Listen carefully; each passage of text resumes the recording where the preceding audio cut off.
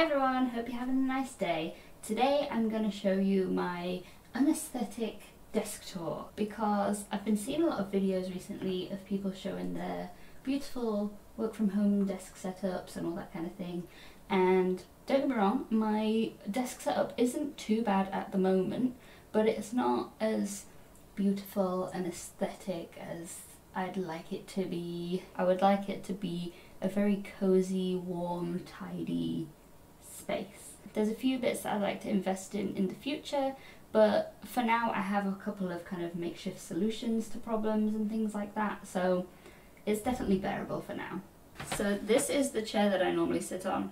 It is a kneeling chair. Yes, it is backwards because if I sit on it the correct way, so spin that round, it's a little bit too short for my desk, which is not ideal as you can imagine. Under my desk I have a couple of yoga blocks, just putting my feet on, but I would like to get one of those soft footstools or something, just to feel a little bit more luxurious than two yoga blocks. So if we take a seat at my desk, this is my desk setup. I have my camera because I stream. So this is, what is this? Canon M50 Mark II maybe? It came with this microphone. Originally my intention was to take this camera down and film with this camera when I was making YouTube videos, but it's so much of a faff that I've just kind of left it there and the microphone has just happened to stay there, even though that's not the one that I use for streaming. This is the microphone that I use for streaming. It's a H4n something or other. The screen that I'm using is actually an old TV which is great in terms of screen space, but I personally find it a lot easier with a dual monitor setup, so that's something I'm going to look into fixing at some point. So I also have more yoga blocks, which I am using as like a makeshift monitor riser. The colour is in keeping with the general brown coffee vibe I'm trying to go for. So a problem that I have with this desk I bought the legs separately, so it's a standing desk, and then I bought the tabletop from IKEA. It's meant to be a dining table, but the problem is that it has a beveled edge. I can't actually clamp things to the desk because this bit juts out a little bit too much. This region is uh, very rustic, shall we say. I'm using an old folder as another kind of riser, but it's very flimsy. So I pushed it out with a couple of books that I have. Not ideal, but it makes do for now. I also have this little thermometer, just kind of, I don't know, keep track of the temperature and the humidity. Obviously I have my microphone set up back here. It's not ideal because my microphone is on the right hand side and my camera is on the left hand side. So when I'm streaming sometimes, there is a kind of bias towards right hand audio, or is it left hand audio, because the microphone and camera are on together. I guess long term, I would probably like to have the microphone and the camera together, maybe just off center. But at the moment, it's not really possible to make that work. These are my headphones that I started modifying and it resulted in me taking off the foam bit. So this has no padding, so it's quite uncomfortable after I've worn it for a couple of hours. So I had to buy an extender for my headphones because if I put this into the standing position, you can kind of see how short this cable is. I was really tethered to this side of my desk, so this was definitely an improvement. I can't remember any details about this computer, however, it has served me well so far, touch wood, and it's quite pretty. I don't know, I'll put the name of whatever this stuff is on the screen because I can't remember it right now. so now we're in the standing position, this is a good time to talk about cable management.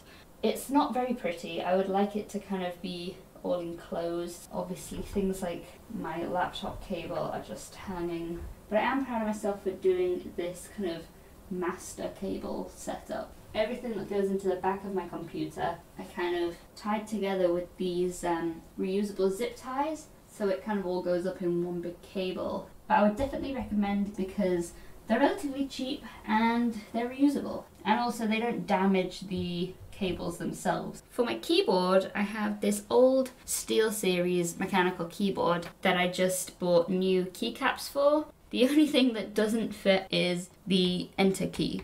the set that I bought didn't have that shape, so I ended up just putting this spare Alt key just to cover up the hole that was there. this is a wrist rest that I accidentally stole from my last job because I forgot to give it back.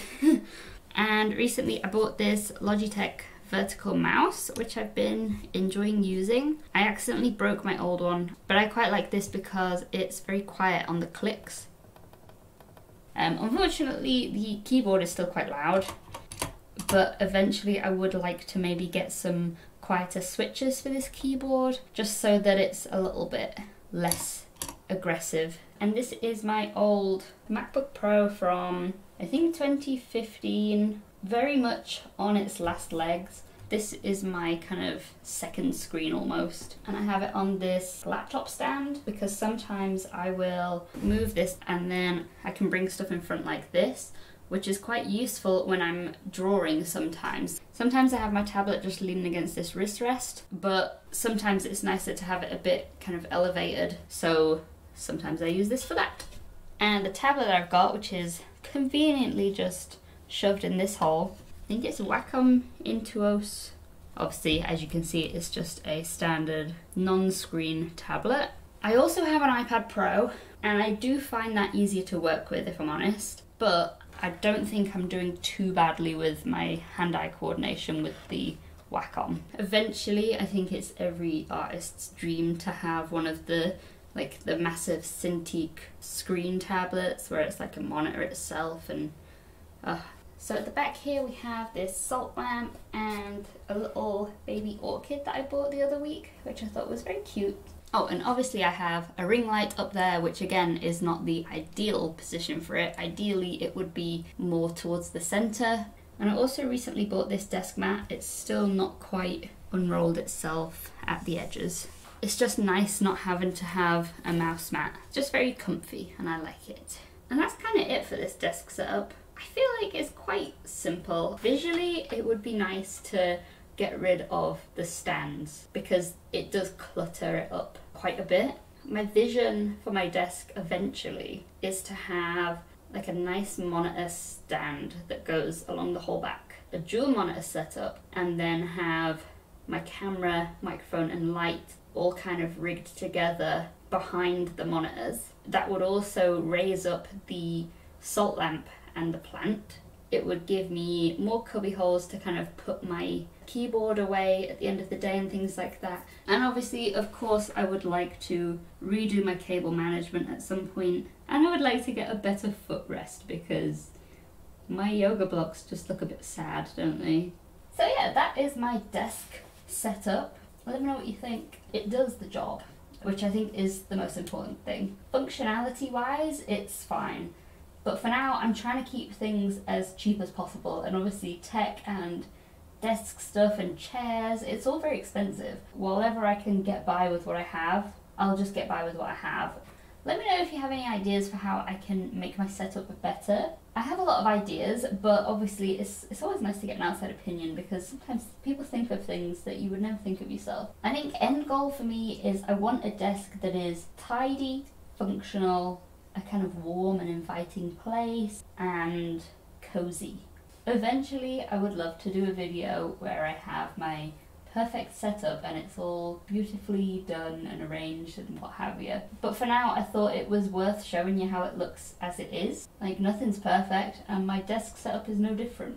But I hope you have a wonderful rest of your week and I will see you in the next one. Bye!